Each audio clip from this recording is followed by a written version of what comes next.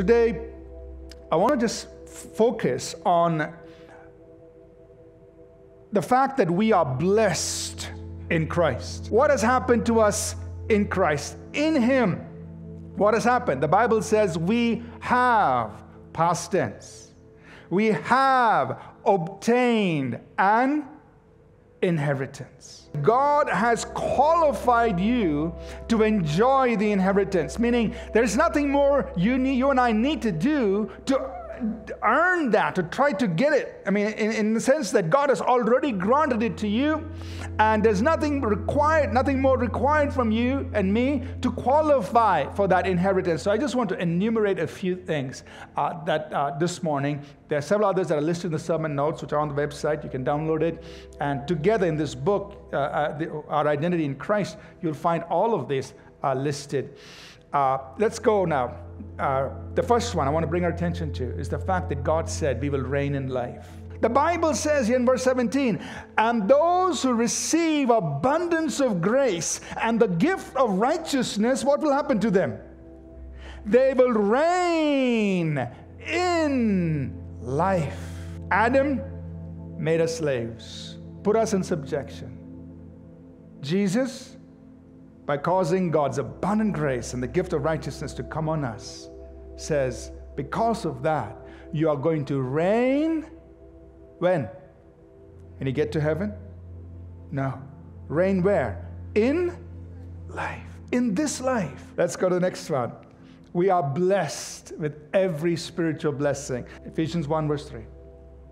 Paul is saying, Blessed be God and the Father of our Lord Jesus Christ. What has He done? He has, past tense, He has blessed us, us, all of us, with 10 blessings. No, with every, every spiritual blessing. That means every blessing that comes from God, because God is spirit. Every blessing that comes from God is, this, is included. God has blessed you with every spiritual blessing. Next one, always triumphant in Christ. In Christ, God will always cause you to triumph. Why? So that through you, the beautiful aroma of Christ can be made known in every place. Amen? See, God doesn't cause us to triumph only in church. He said, every place. We are complete in Him with His fullness. God the Father, He says, in Christ is all the fullness of the Godhead bodily. This word fullness that the Apostle Paul write, uses in his writings, and you, read you see it a lot in Ephesians, and then again now in Colossians, it's, it's talking about all who God is, the very nature of God. That word fullness. You can study it. So in verse 19 of Colossians 1, he says, In him dwells all the fullness of the Godhead bodily. So every person of the Trinity represents the Godhead completely. You are complete in him, who is the head of all principality and power. So he's saying, In him, there's a fullness of the Godhead.